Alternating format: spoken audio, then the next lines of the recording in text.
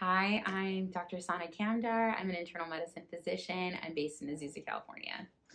Um, great hands-on learning and also just the um, wealth of information. Everyone has been so kind and so devoted and really wants to go the extra mile to make sure that you have an understanding of what you want to do and what they can help you achieve in your practices. Um, for the ultrasound course, we spent um, the morning portion kind of going, going over the basics of ultrasound, a small didactic session, and then we were able to do um, hands-on learning experiences for all um, of the joints, uh, shoulder joint, hip joint, knee joint, as well as elbows and wrist. I personally was able to um, inject both knees of a patient, um, and so not only are you getting the information, the didactic learning portion of it. You get the hands-on experience um, as well as doing the injections. So it was a wonderful experience. Had a great time.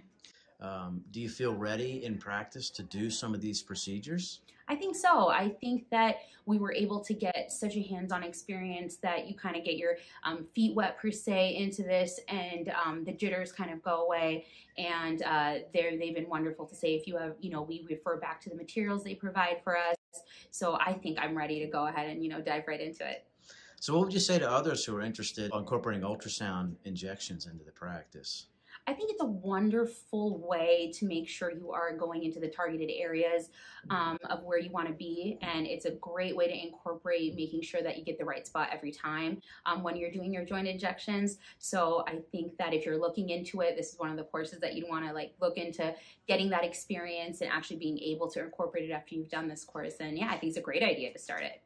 Do you think when patients are coming in and, and like paying for a procedure that it's almost like uh, an extra level of, of comfort to do the image guidance. Oh yeah, absolutely. I think when a patient comes into the room um, and they're able to visualize what you're seeing, what you're feeling, what you want to do, they're able to see where you're going. They trust you more.